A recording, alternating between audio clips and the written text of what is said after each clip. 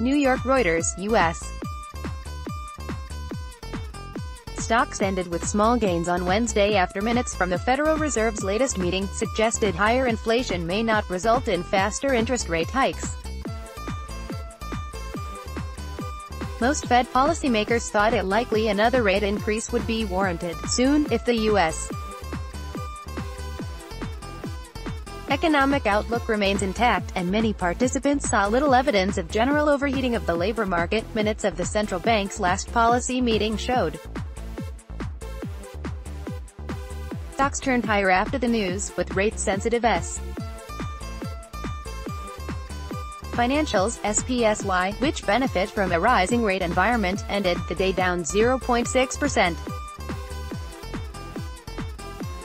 The market is probably breathing a little bit of a sigh of relief knowing that inflation even a bit above 2% may not necessarily mean a faster rate of increases, said Mike Bell, managing director at U.S. Bank Private Client Wealth Management in Portland, Oregon. The central bank has lifted borrowing costs once so far this year, in March, and policymakers are currently about evenly split between those who expect two more rate rises this year and those who anticipate three. Investors overwhelmingly expect a rate rise at the next meeting on June 12 to 13. The Dow Jones Industrial Average, DJI rose 52.4 points, or 0.21%, to 24,886.81 BS. Earlier in the day, comments by U.S. President Donald Trump that fueled further skepticism over trade talks between the United States and China weighed on the market.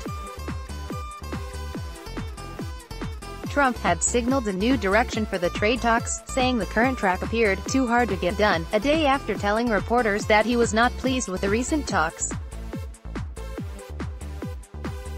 File photo, traders work at the Citadel Securities post on the floor of the New York Stock Exchange, NYSE, in New York City, U.S., July 18, 2016. Reuters, Brendan McDermott, file photo retailers were mixed, with Target, TGT, and sinking 5.7% after the retailer's quarterly profit rose less than expected as price cuts, higher wages and investments into its online business dented margins. Tiffany, Tiff, and surged 23.3% after the jeweler's quarterly results blew past estimates and the company raised its full-year profit forecast and announced a $1 billion buyback program. Ralph Lauren RLN also soared, ending up 14.3% after the company's higher margins helped deliver a solid profit that beat analysts' estimates. Also, Lowe's low and gained 10.4% after the home improvement retailer maintained its annual financial targets and billionaire investor Bill Ackman said his hedge fund had taken a roughly $1 billion stake in the company. Advancing issues outnumbered declining ones on the New York Stock Exchange by a 1.07 to 1 ratio, on Nasdaq, a 1.15 to 1 ratio favored advancers. PS. About 6.4 billion shares changed hands on U.S. exchanges. That compared with the 6.6 billion share daily average for the past 20 trading days, according to Thomson Reuters data. Additional reporting by Chuck Mikolajczak in New York and Medha Singh in Bengaluru, editing by Sriraj Kalluvila, Nick Zieminski and Jonathan Otizor Standards. Thomson Reuters Trust Principles